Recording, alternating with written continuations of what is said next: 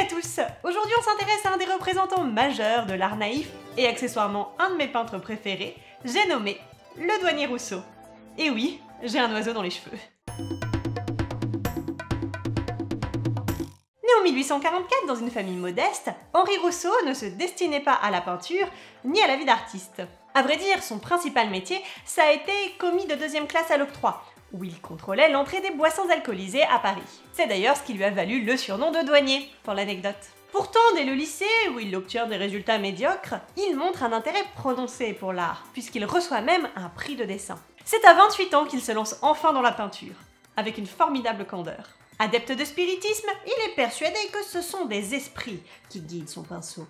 Grâce à sa carte de copiste au musée du Louvre, il se familiarise avec les chefs-d'œuvre, mais ses œuvres à lui eh ben elles ont du mal à obtenir la reconnaissance. Il essaiera en vain de se faire exposer au salon officiel de 1885, mais il finira finalement par se faire exposer au salon des indépendants, qui a l'avantage de ne pas avoir jury d'entrée.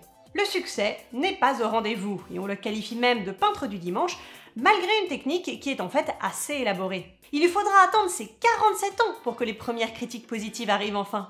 Sacrée ténacité Il finira même par obtenir la reconnaissance des grands noms de l'époque comme Marie Laurencin, Guillaume Apollinaire, Degas, Gauguin, Picasso et même Robert Delaunay.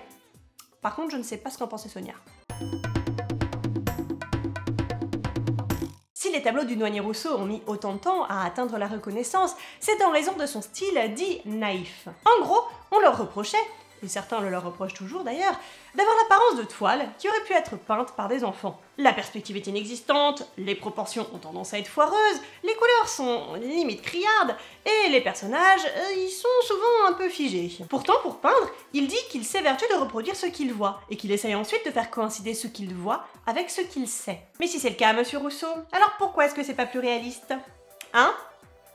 Hein? D'aucuns diront, euh, manque de technique que le douanier Rousseau ne savait pas peindre, que c'était précisément ce qu'on appelle un peintre du dimanche. Alors que bon, s'il avait voulu mettre de la perspective, il aurait pu. Il était copain avec tout un paquet d'artistes qui auraient pu lui apprendre. Non, il est évident que ce style, c'est un choix. Un choix qui reflète d'ailleurs la personnalité du douanier Rousseau, qui est souvent décrit comme étant quelqu'un de calme et de réfléchi, mais aussi de débonnaire, voire un brin ridicule quelquefois.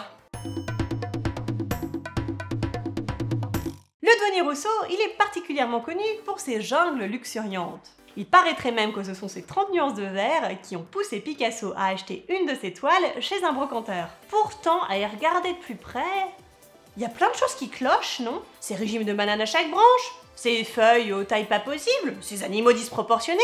On dirait presque qu'il a jamais mis un pied dans la jungle, notre ami Denis Rousseau. Et pour cause, il n'a jamais quitté la France. Et oui, il a peint toutes ces jungles avec sa seule imagination pour guide ainsi que les animaux empaillés du jardin des plantes, ainsi que les récits des soldats qu'il rencontrait. Il pense au thème jusqu'à sa mort, la plupart du temps sans qu'aucun personnage ne vienne perturber la faune et la flore somptueuse. Mais dans ces derniers tableaux, des personnages font soudain leur apparition, des personnages qui semblent en harmonie avec la nature autour d'eux. Et ces derniers tableaux, ils susciteront particulièrement l'admiration lorsqu'ils seront exposés au Salon d'automne. Guillaume Apollinaire dira même Cette année, personne ne rit, tous sont unanimes ils admirent. Belle revanche, monsieur le douanier.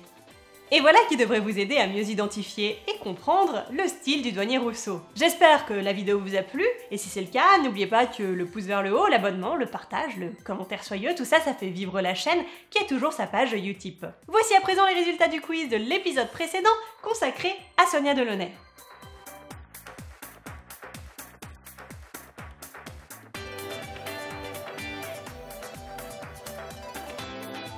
Et on passe tout de suite au quiz sur le douanier Rousseau. Essayez d'identifier laquelle de ces toiles il a peinte.